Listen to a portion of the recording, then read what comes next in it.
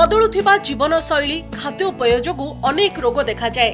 ସେଥିମଧ୍ୟରୁ ଗ୍ୟାଷ୍ଟ୍ରିକ୍ ବା ଗ୍ୟାସ୍ ହେଉଛି ଏକ ସାଧାରଣ ଭାବରେ ଦେଖାଯାଉଥିବା ସ୍ୱାସ୍ଥ୍ୟଗତ ସମସ୍ୟା। ତେବେ ବିଶେଷଜ୍ଞଙ୍କ କହିବା ଅନୁସାରେ ବିଭିନ୍ନ ରୋଗ ତଥା ଶାରୀରିକ ସମସ୍ୟା ଯୋଗୁଁ ଆମକୁ ଗ୍ୟାସ୍ ହୋଇଥାଏ। ତେଣୁ ଆସନ୍ତୁ ଏହି ରିପୋର୍ଟରେ ଜାଣିବା ଗ୍ୟାସ୍ ସମସ୍ୟା କ'ଣ ଓ ଏହାର ଲକ୍ଷଣ କ'ଣ।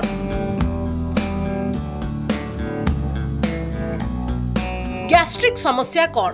ଗ୍ୟାଷ୍ଟ୍ରିକ୍ ଅନୁବାଦରୁ ଆସିଛି ଗ୍ୟାସ୍ ଶବ୍ଦ। ଗ୍ୟାସ୍ ବା ଗ୍ୟାଷ୍ଟ୍ରିକ୍ ଏକ ସାଧାରଣ ରୋଗ। ପେଟ ଜଳାପୋଡ଼ା ହେବାକୁ ଗ୍ୟାସ୍ କୁହନ୍ତି। ଛାତି ପୋଡ଼ା ଜଳାକୁ ମଧ୍ୟ ଗ୍ୟାସ୍ କୁହନ୍ତି। ଆମ୍ବିଳ ହାକୁଡ଼ିକୁ ଗ୍ୟାସ୍ କୁହନ୍ତି। ତେବେ ଖାଦ୍ୟ ହଜମ ହୋଇନପାରିଲେ ପେଟରେ ସାଧାରଣତଃ ଗ୍ୟାସ୍ ସୃଷ୍ଟି ହୋଇଥାଏ। ଆଉ ଭୋକ କମିଯିବା ଓଜନ କମିଯିବା ହେଉଛି ଏହାର ପ୍ରମୁଖ ଲକ୍ଷଣ।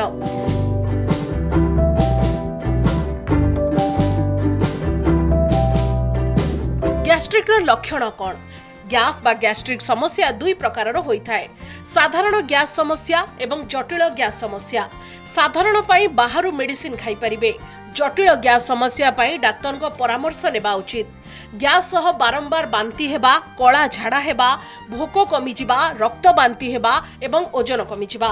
ଖାଇବା ପରେ ପେଟ ଫମ୍ପେଇବା ମଳ ସଫା ନ ହେବା ଏହିସବୁ ଲକ୍ଷଣ ରେଡ୍ ଫ୍ଲାଗ୍ ବା ଜଟିଳ ଗ୍ୟାସ୍ ସମସ୍ୟାର।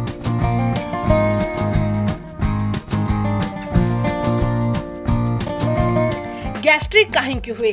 ଆଜିର ଖାଦ୍ୟ ପାନୀୟ ହିଁ ଗ୍ୟାସ୍ର ମୁଖ୍ୟ କାରଣ। ଶରୀର ଦୁଇଟି ଅର୍ଗାନ ବାହ୍ୟ ପରିବେଶ ସହ ଜଡ଼ିତ। ଖାଦ୍ୟ ନଳୀ ଏବଂ ଫୁସ୍ଫୁସ୍ ଗ୍ୟାସ୍ ପ୍ରଭାବିତ ହେବା ଏକ ସମସ୍ୟା। ଠିକ୍ ସମୟରେ ନ ଖାଇବା ମଧ୍ୟ ଗ୍ୟାଷ୍ଟ୍ରିକ୍ର କାରଣ।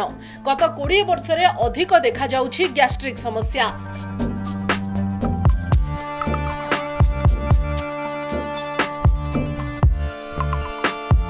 ଗ୍ୟାଷ୍ଟ୍ରିକ୍ ଭଲ ହେବ କେମିତି? ପ୍ରତିଦିନ ସଠିକ୍ ସମୟରେ ଖାଇବା ଆବଶ୍ୟକ।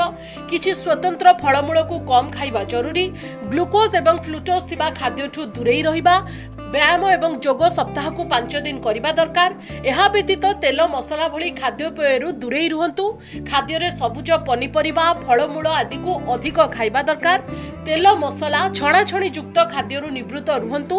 ଗ୍ୟାସ୍ ସମସ୍ୟାକୁ ଏଡ଼ାଇବାକୁ ସକାଳେ ସନ୍ଧ୍ୟାରେ ଏକ୍ସରସାଇଜ କରନ୍ତୁ। ବ୍ୟୁରୋ ରିପୋର୍ଟ ସ୍ୱାସ୍ଥ୍ୟ ସମ୍ବାଦ।